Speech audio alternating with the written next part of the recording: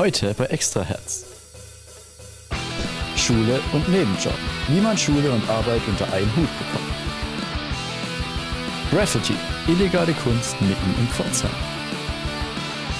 Jugendkult. Die Sprache der Jugend von heute. Hallo und herzlich willkommen zu Extraherz. Heute aus der Heinrich-Wieland-Schule Pforzheim. Diese Sendung entstand im Rahmen eines Videoprojekts des Gestaltungsprofils. Immer mehr der rund 1800 Schüler verdienen sich durch Nebenjobs etwas dazu. Wir haben einen dieser Schüler einen Tag lang begleitet.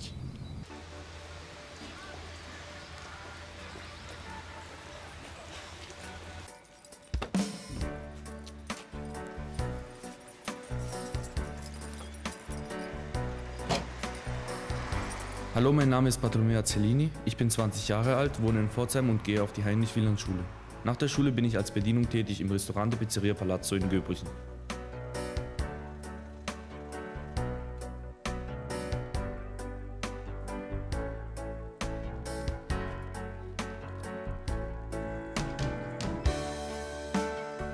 Zu meinen Aufgaben gehören, die Reservierungen zu überprüfen.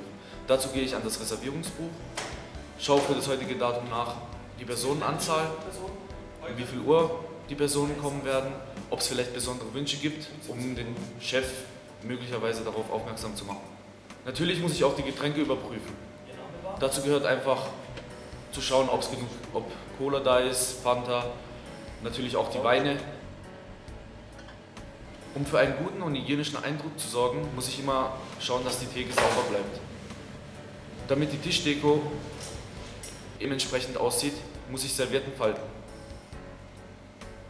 Der Tisch muss immer auch schön eingedeckt sein. Ich muss darauf achten, dass die Tischdecke sauber ist und dass die Tischdecke keine Falten hat. Ebenso muss ich auch mal Gäste bedienen, das sehr wichtig ist.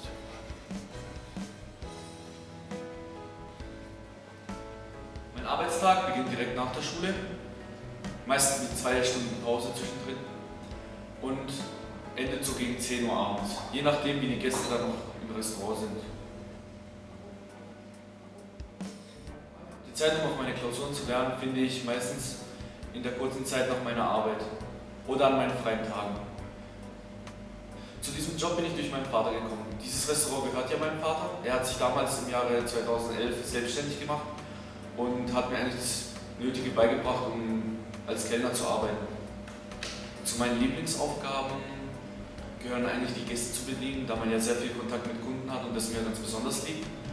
Was ich eher nicht so gerne mache, ist jetzt zum Beispiel die Theke sauber machen. Das Putzen ist nicht so ganz meine Stärke. Neben den Arbeitenden gibt es Schüler, die ihre Freizeit durch das Sprayen von Graffitis künstlerisch gestalten. Das einen freut, ist des anderen leid. In folgendem Beitrag erfahren Sie mehr über dieses umstrittene Hobby.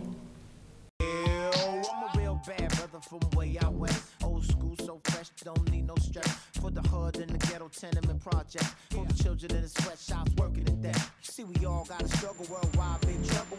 Babylon crumble, caught out on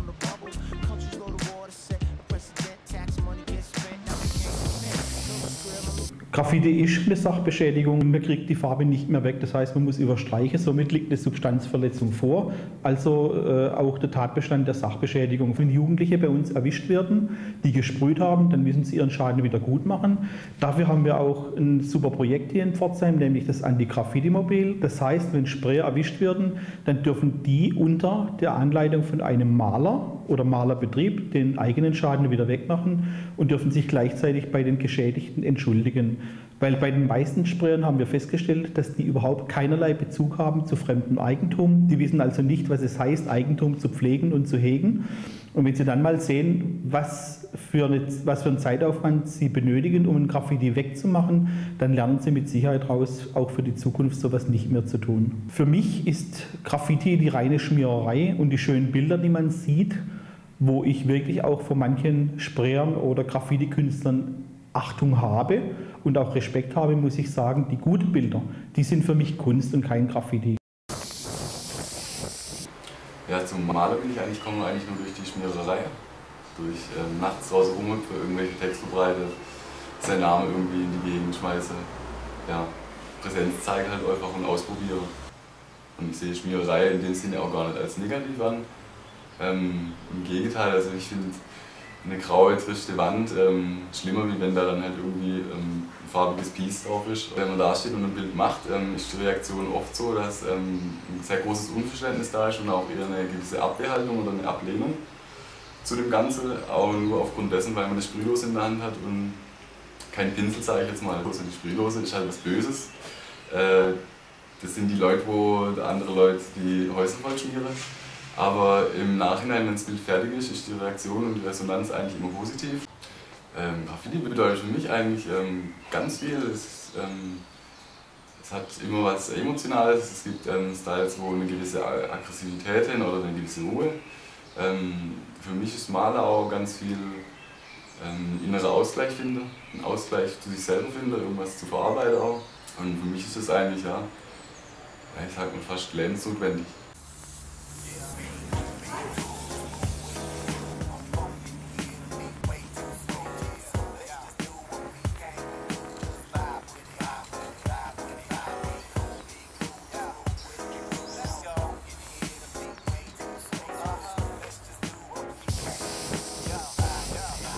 So wie das Graffiti zum Jugendkult gehört, ist die Sprache ebenfalls ein wichtiger Teil davon. Heutzutage hört man immer mehr dieser Neologismen. Immer öfter hört man Worte wie YOLO, Swag oder Hipster. Aber weiß die Jugend von heute überhaupt, was diese Worte bedeuten? Mehr dazu erfahren Sie in den folgenden Minuten. Jugendwörter 2013. Was bedeutet Jugend? Hm, ehrlich gesagt, keine Ahnung. Man liest zwar überall, aber ich weiß nicht, was es ist. Interessiert mich nicht. Um, YOLO heißt You Only Live Once und das bedeutet auf Deutsch, du lebst nur einmal. Genau. YOLO heißt äh, You Only Live Once, als hätte ich jetzt da. Und das sagen die Leute halt, wenn sie irgendwas machen, worauf sie stolz sind oder wenn sie irgendwas cool finden, sagen sie, ah ja, ich lebe ja nur einmal oder sowas. Also übersetzt, ja. So die Pseudo-Bewegung von allen, die meinen, sie müssen jung und cool sein, ja. Ja, YOLO benutzen viele Menschen dafür, äh, als Entschuldigung dafür, dass sie zum Beispiel viel ähm, Alkohol konsumieren oder riskante Sachen machen. Und dann sagen sie einfach, dass sie nur einmal leben und nehmen das dann einfach als Entschuldigung. You only live once. Ich meine, der Grundsatz ist gut, aber die benutzen es halt als Ausrede, um Schrott zu bauen. Das ist nicht so gut. Was ist ein Hipster? Oh, ein Hipster, gute Frage. Also, ich nehme mal an, ein Star, der hip ist. Ein Hipster. Irgendein Typ, der spezielle Kleidung trägt und komische Musik hört. Also der Ursprung liegt ja in den 40er Jahren. Ne? Also ich würde sagen, ein Hipster ist jemand, der einfach der Masse folgen will sozusagen. Also ich glaube, manche Leute wissen nicht mal selber genau, was ein Hipster ist. Also ich kann es jetzt nicht genau definieren. Ich könnte jetzt nur sagen, wenn ich jemanden sehe, ah ja, der macht so auf Hipster oder so. Die Leute, die zum Beispiel so eine Kappe die ganze Zeit tragen oder solche Schuhe haben, die so hoch begehen bis zu den Knöcheln. Das würde ich jetzt so sagen. Und heutzutage wird das ein bisschen falsch interpretiert. Ne? Ein Mensch. So jemand, der meint, so pseudo-modern zu sein und hätte ich jetzt gesagt. Ein Hipster, ja, also das sind Leute, die haben Werte, große Brillen und können vielleicht als Obdachlose mit einem Handy, mit einem großen Smartphone beschrieben werden. Und die mit den Dreiecken. Was bedeutet Swag? Ähm, keine Ahnung. Naja, Swag ist, wenn man cool sein will und Swag. Ja, Swag. Sagt mir gar nichts. She wants a gentleman. Swag bedeutet, wenn jemand so auf cool macht und der einfach so voll lässig sein will. Also eigentlich kommt das ja früher von dem Secretly We Are Gay, aber ich glaube, das weiß kaum irgendjemand und es wurde einfach zweckentfremdet. Nach diesen Beiträgen über Schülerjobs, künstlerische Straftaten und Worten, deren Ursprung niemand weiß, verabschieden wir uns heute von Ihnen. Schaltet auch das nächste Mal wieder ein, wenn es heißt Extra Herz aus der Heinrich-Wieland-Schule.